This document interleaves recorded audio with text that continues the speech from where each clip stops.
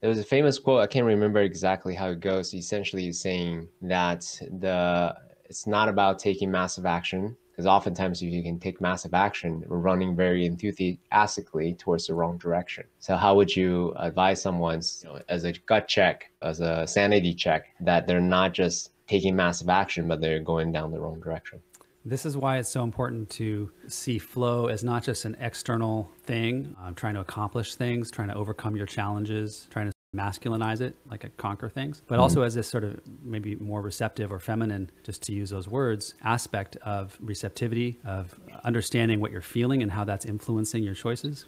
I think that we can, I'm not sure what I want to say about that. It, it comes back to knowing ourselves and if we know ourselves, then we'll be taking action, like in the Lorax process listen, open, reflect, and release. That helps us know ourselves. And then from there, the action that comes is more aligned with both ourselves and what we really want, and also with the circumstances outside of us. Let me use another metaphor that you use in your book. You use a metaphor of an acorn. Is it acorn? Anyways, a tree, right? A seed that you mm-hmm. planted. Before the tree start to get rooted and blossom, there's a period be- between getting planted and actually start to get rooted and blossom and sprouted and, and yeah. grow into an oak tree, right? Yeah. So that is so when the sprouts is going, that's quote unquote traction. So there's a little bit of a faith between being planted to sprouting. So that period is what, I, what I'm talking about. How does one discern something is happening? You just don't see, you can't see the evidence of it yet versus you're going down the wrong direction is essentially what I'm trying to articulate. Yeah. I, I think that in my experience, that is where the doubt comes in.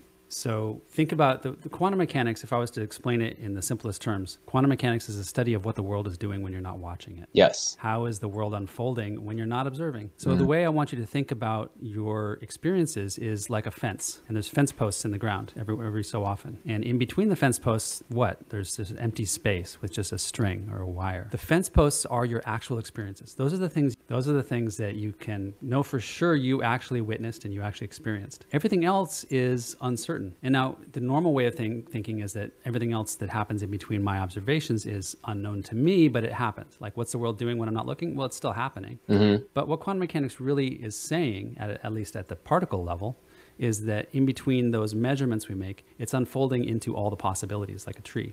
Mm-hmm. It's not actually in one of them. And so there's this sort of liminal space of uncertainty or possibility, which isn't like our regular world. And I want your listeners to think about their lives also in the same way. What you're observing right now is what you can say is reality. This is the fence post. It's not until the next fence post that I'm going to be able to, to say what I know for sure. Like I send off that resume, that's a fence post, right? I know I've sent it. I might get an email back saying, hey, we received this. Thank you for sending it. That's a fence post. I know for sure. Mm-hmm. In between that and the next interaction is this space that I don't know what to do with. And my tendency might be to feel like they're taking too long to get back to me. They probably decided to pass. And so then I might have a pattern in my life of being like, oh, forget it. I, I'm not going to keep trying. Really, what I would advise is to recognize that you're in this liminal space where there's these possibilities unfolding. And what, what you can do is invest yourself. Keep working, building that momentum.